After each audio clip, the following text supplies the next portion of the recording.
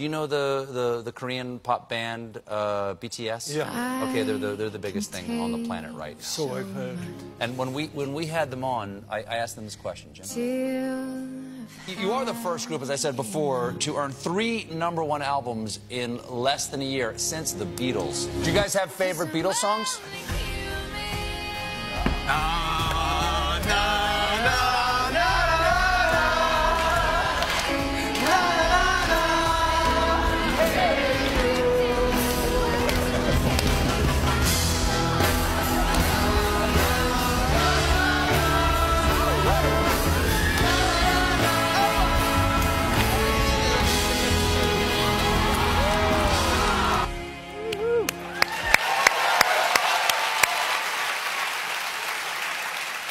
That's it.